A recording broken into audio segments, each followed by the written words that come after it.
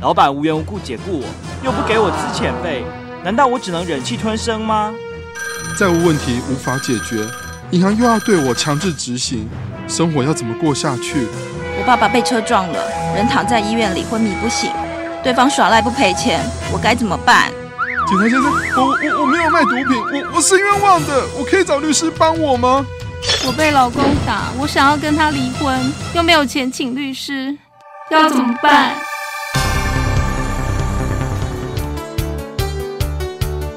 只要您有法律问题，就让法律辅助基金会来帮助您。欢迎收听《空大桥法律你和我》。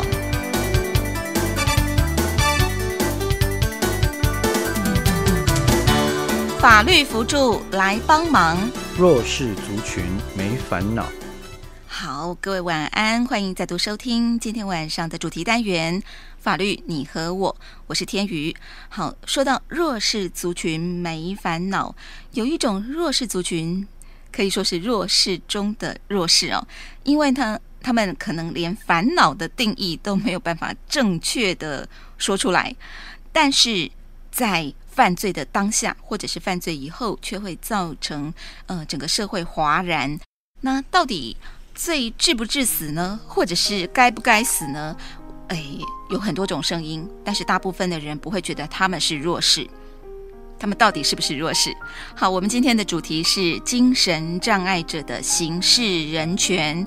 如果您是婉君的话，哈，我们广大的婉君朋友们，我们广大的网友们，哈，现在先不要义愤填膺，哈，血脉喷张，这个先冷静下来，好。今天为大家邀请到的是智策国际法律事务所的职业律师，同时也是法律辅助基金会的辅助律师。哇，他的专长很多，哈。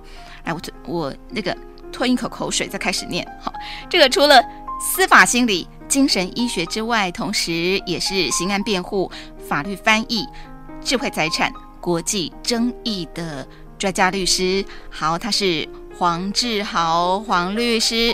Hello，黄律师您好。呃，天宇您好，各位听众大家好。是哈，有这么多专长，会不会有时候精神错乱啊？其实应该不会了，应该说，呃，法律法律案件的压力让其他的专长变得非常有必要。嗯，好，需要这个很多技能来傍身防身，是不是？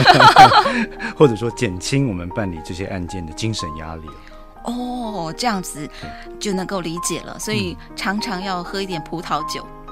也是葡萄酒讲师哦，是是是，还是瑜伽师是哇哈，所以这个喝酒哈，品酒跟做瑜伽都可以暂时脱离硬邦邦的，甚至是非常吊诡的呃司法跟精神医学的绑缚，是不是？确实如此。因为很多时候，呃，就像大家所理解的啊，呃，法律跟精神医学很多是比较理性层面的一个论断方式。那么瑜伽跟葡萄酒它共通的特色是你需要用到比较多的感官、感性的方式去理解这两个东西，所以对我来说是一个比较好的平衡手段。好，我们很难呃想象，哈，一个人前天。还在做瑜伽，哦，做完瑜伽之后，哎，拿起高脚杯来，透明高脚杯品酒，然后第二天就出庭。提到精神障碍者的刑事人权，现在普遍的，呃，台湾躲藏在这个网络或者是电脑荧幕后面的广大的不知名的群众们，都会觉得，呃，他们有什么人权？那我想先请黄律师来。呃，开宗明义点一下，人权是生而为人，在司法上就有的，对不对？是，我想，我想听于您讲的非常的正确，也非常的容易懂啊。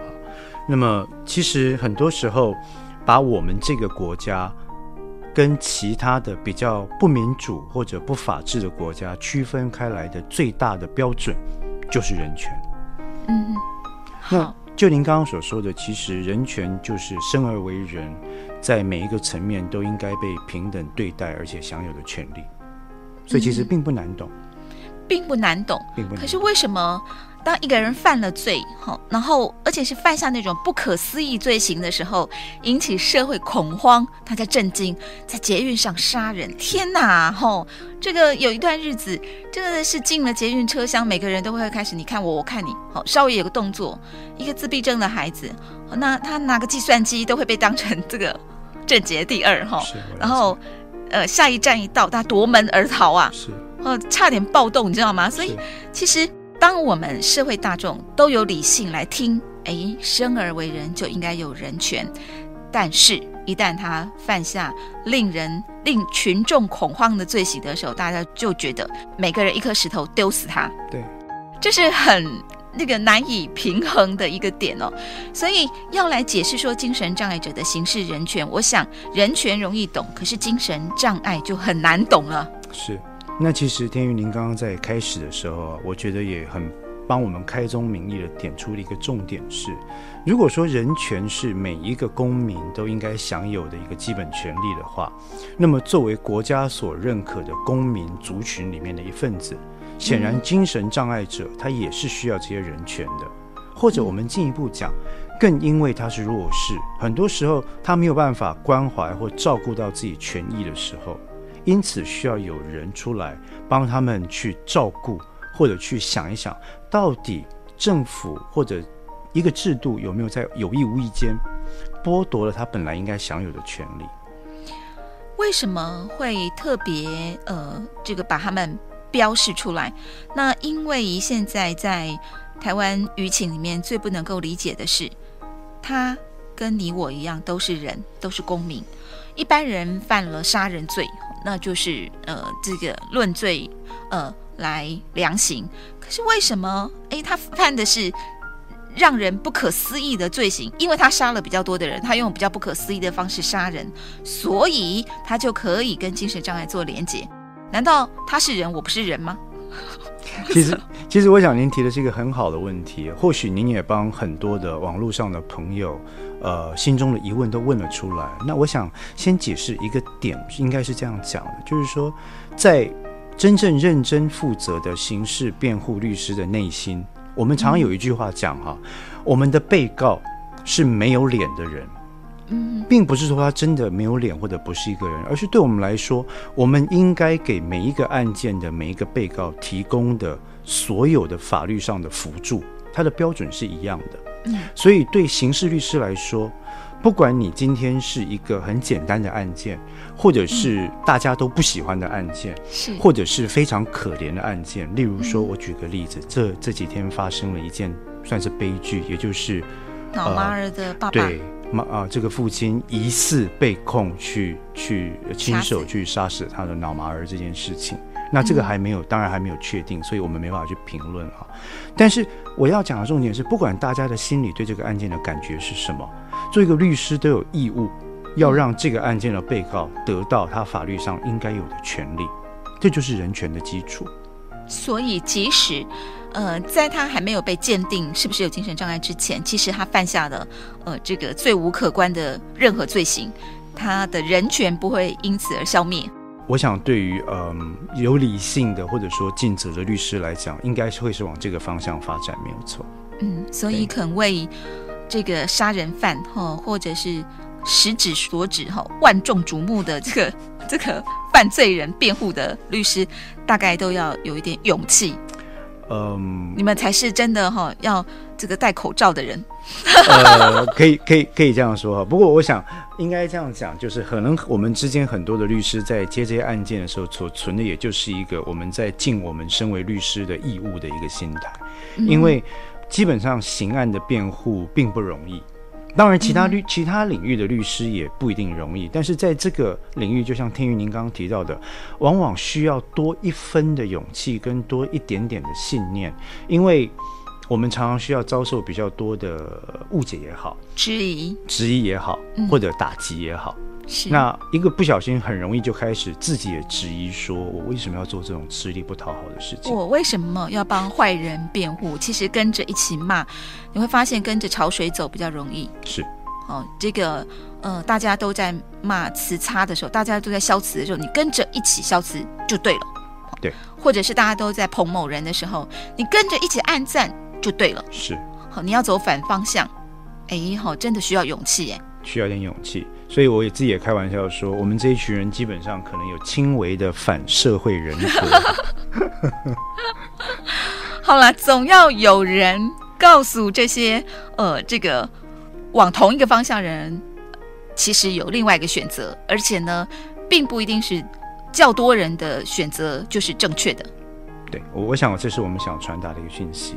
那么，其实还有第二个层次的讯息是，其实网友或者是大家可以想一想，如果这些律师连社会都认为有罪的人都愿意依照刑事程序跟正义来提供给他应有的权利，那么当一般的民众受到了刑事程序的追诉的时候，这些律师是不是一样或者更愿意为你做这些应该做的事情？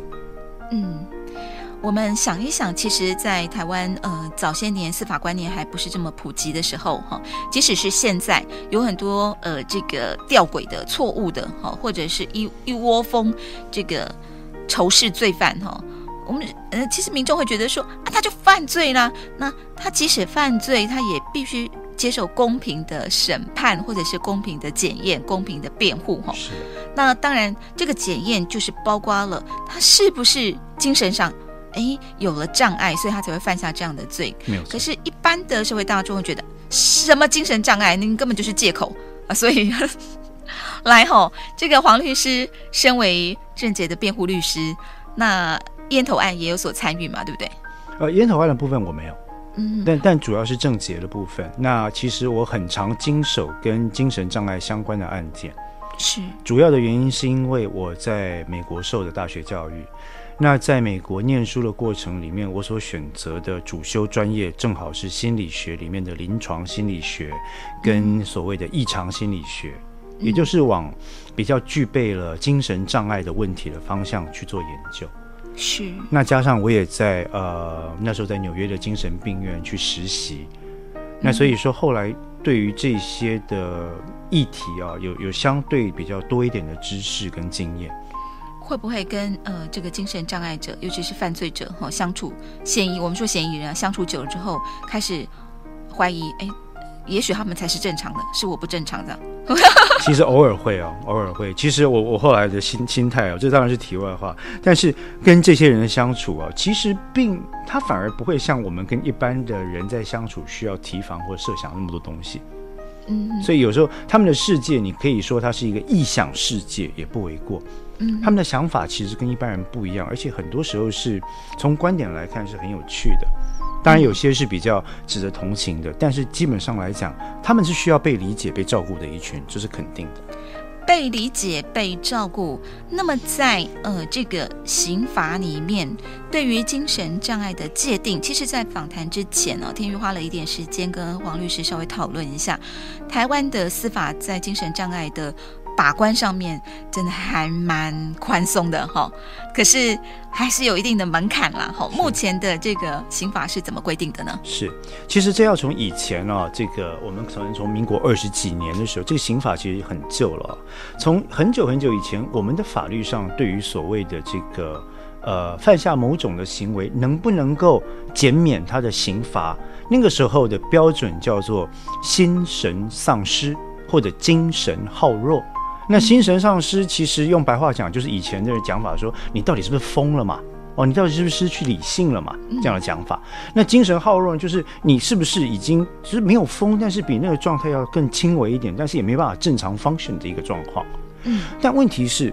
在这么久的标准底下，哈，这两个名词在法院每一个法庭、每一个法官或者每一个案件里面，可能都被诠释出不同的结果，是以至于到了近代，其实后来呢，大家觉得这这个不能这样下去，因为没有人知道什么是心神丧失，什么是精神耗弱。那你找心理学家，你找精神科医师也讲不出个所以然来。所以后来我们的法律把它在刑法十九条里面改成了。就是精神障碍或心智缺陷的存在，那么这个精神障碍或心智缺陷呢，导致这个人因此没办法去辨识他行为违法性的程度。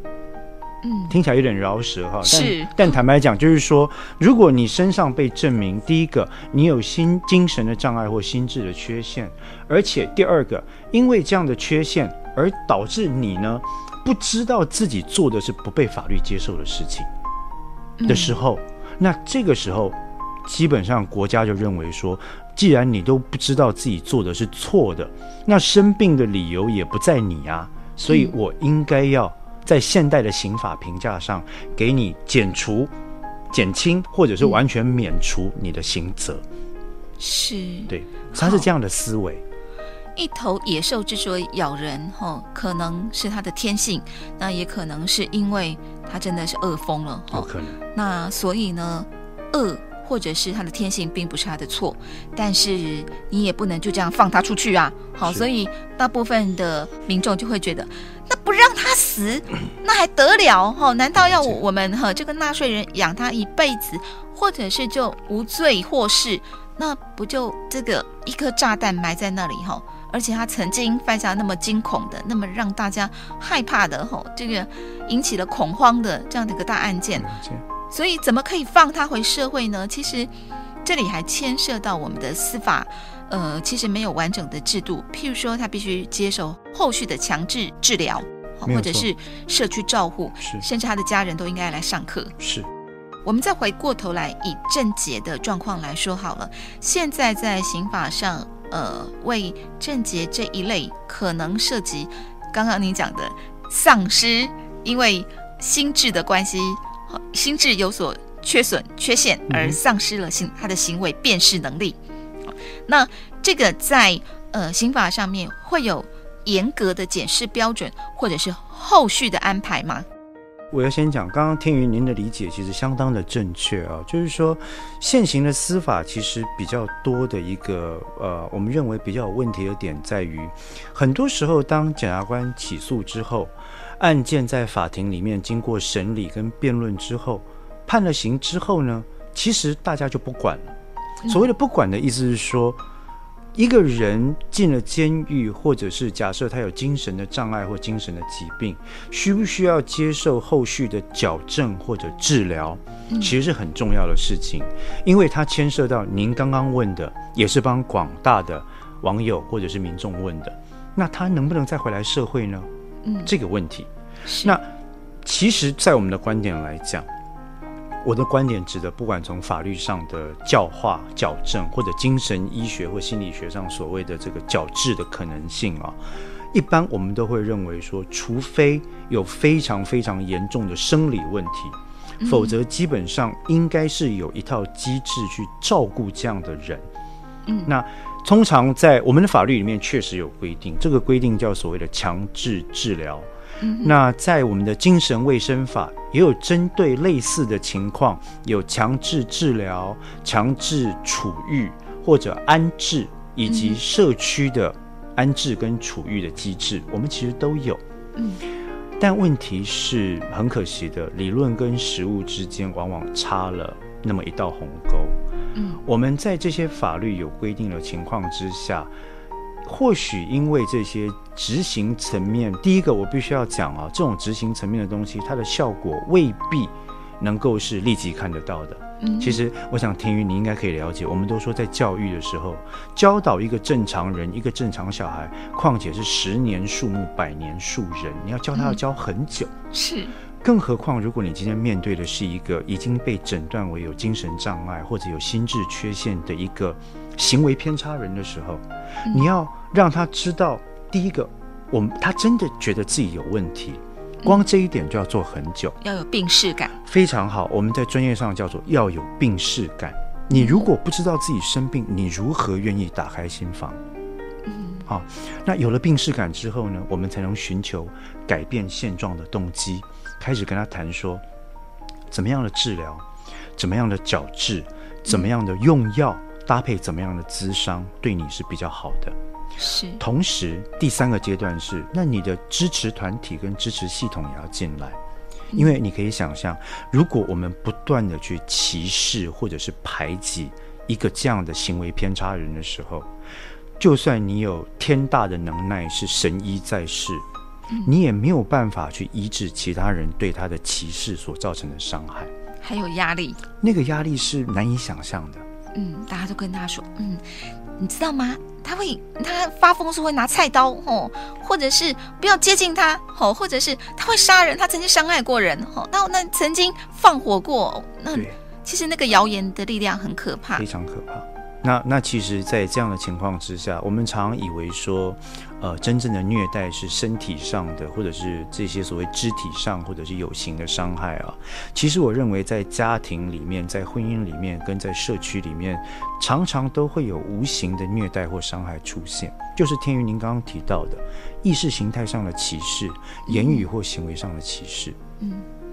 好，可是我想，大部分的民众之所以对刑事案件里面以精神鉴定来呃减免刑期，好，或者是甚至无罪释放，哈，那不不管是减刑也好，或者是无罪也好，其实大部分人都觉得，那难道嘿他不该为他所做的错事负责吗？难道杀人不应该偿命吗？难道吼被杀的人就没有人权吗？难道活该被他伤害吗？好，所以。那怎么办呢？这四个问题其实是非常好的问题了。那在我们做刑事辩护律师来讲，我们一直非常渴望的是可以跟有这些问题的人坐下来，好好的讨论这个内容。所以今天有这个机会，您可以问这些问题，我其实非常的开心啊。第一个，我从后面的问题回答起好了。受害者有没有人权？当然有，当然应该要有，但是。在现代的民主社会体制之下，我要讲的是说，受害者的人权啊，我们只因为我们必须了解一个现实的状况是，事件的发生在当时，所以事情发生之后，我们其实从事后的观点，恐怕在现代的社会只能够透过法律的程序，去取回或者去填补你当初所受的损害。那在这里面呢，如果你所受的损害是跟个人的身心状态有关的话，在民事上的部分，你可以走民事的程序去对他求偿。嗯，但如果是刑事的部分，你就身为一个受害人或者一个受害人的家属，在法律上你可能就有两种选择。第一个就是你可以选择我要自己找律师去追诉这个当时加害我的这个对象。嗯，这种行为我们在刑事程序上叫自诉。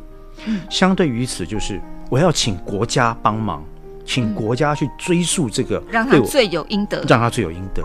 那这个程序叫公诉。现在的刑事程序，其实我们比较多的方向在立法政策上，我们鼓励进行公诉的理由在于，我想您一定很清楚，可以想象到，国家的公权力显然它能够动用的资源，远远的大过一般的寻常的人他的资源。嗯，例如一般的人找律师可能很不容易去找侦探、调查员、鉴识专家、刑警、调查局或宪兵。来帮你做犯罪现场的重建、搜证、鉴识，乃至于证据的搜集，不容易的。嗯，但是透过国家的手，你有办法去请检察官帮你做这些事情。嗯，这是为什么在刑事诉讼制度底下，我说被害者有没有人权？当然有，但是现在的制度上来讲，并不是没有保障的。问题就在于保障的够不够，或者做的好不好这件事情。那这一点其实是另外一个 issue，我们待会儿可以讨论。保障的够不够，做的好不好？我想现在很多呃听众朋友大概已经在那边 say say 两，好，就是做的不够好啊！你看哦，那个精神病怎么可以放出来？神经病要关他一辈子，要不然最好哈让他死十次，枪毙他十次都还不够哈。而且你看郑杰一次哈，那那死了四个人，伤害那么多人，引起那么大的恐慌，难道他不该死吗？哈，很多这个民众哈。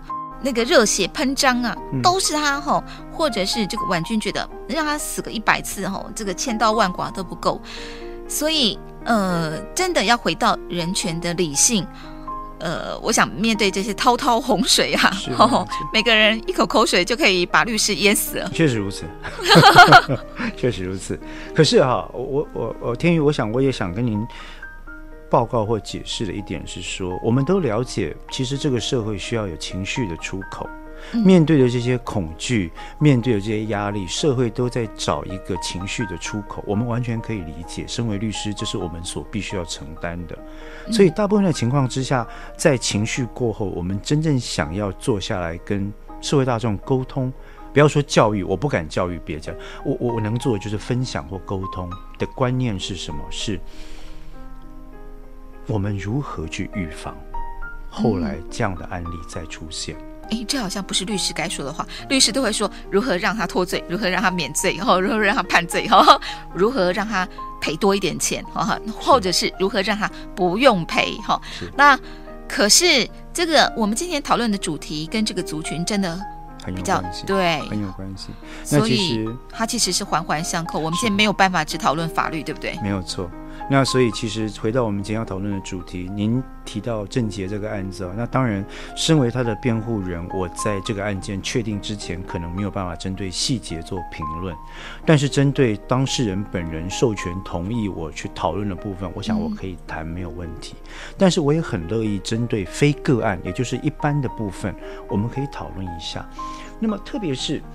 很多人会觉得说，为什么精神障碍的人在在刑案当中哈、他的角色特别的突出，或者他的权益特别需要保障？翻成白话就是您刚刚讲到的问题：凭什么精神障碍者的人权比一般人要多？为什么他需要特别的保障？嗯，那其实我们从这个角度来看呢，你想一个问题就好：如果一个人生病了，你觉得他是应该治疗还是应该处罚？我觉得治疗比较好，因为你处罚他，其实他也我们说他也无能为力嘛。他其实不见得知道自己错了，而且这次犯的是小罪，处罚了之后出去或许，对，或许或许会下次更大条。对，因为他的病情、他的状况没有获得控制。那其实这就是为什么对于精神障碍，我们在法律上很多时候要给他，至少我们要求要有一般程度的，任何被告该有的权益都要有。但除了那个之外，我们甚至认为在精神障碍者涉入刑案的状况之下，有一些特别的程序上的保障，我们要特别注意的。那举个例子来讲好了，例如精神鉴定或者心理鉴定这一块，就是很重要的一个观念。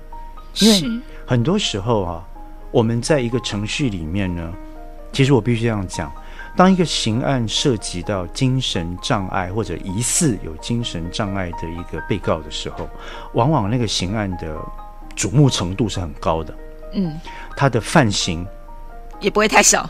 对，嗯通常对于社会的观感来讲，也是觉得非常可怕的。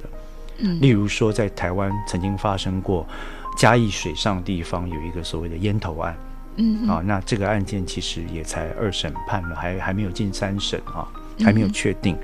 那例那么，例如说，我当事人这个案子是在台湾历史上第一次的，大众交通系统，没有错，而且是随机的一个杀人案。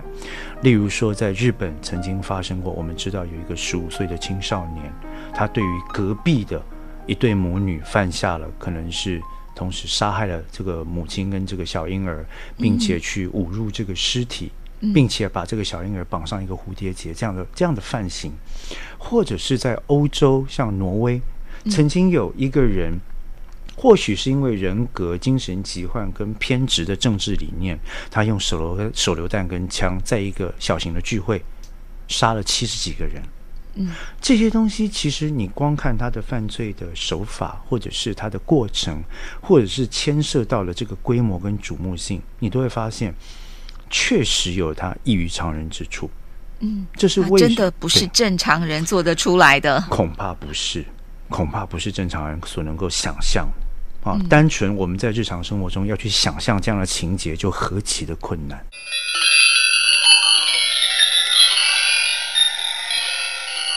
这里是教育广播电台，您所收听的节目是由国立空中大学所制播的《学习在云端空大桥》节目，我是主持人天瑜。好，今天呢，星期二为大家进行的是和法律辅助基金会所合作的“法律你和我”主题单元，我们谈的是精神障碍者的刑事人权。下周二，哎，还有续集哦。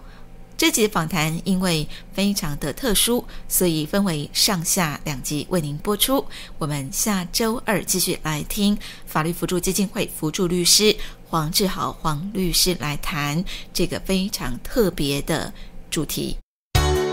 本节目是由国立空中大学及财团法人法律辅助基金会联合制作。法律辅助基金会是由司法院捐助成立，在全国设有多个分会。专门为弱势民众提供法律协助。如果您有任何法律问题，欢迎拨打法福会全国法律咨询预约专线零二三三二二六六六六，让法福会来帮助您。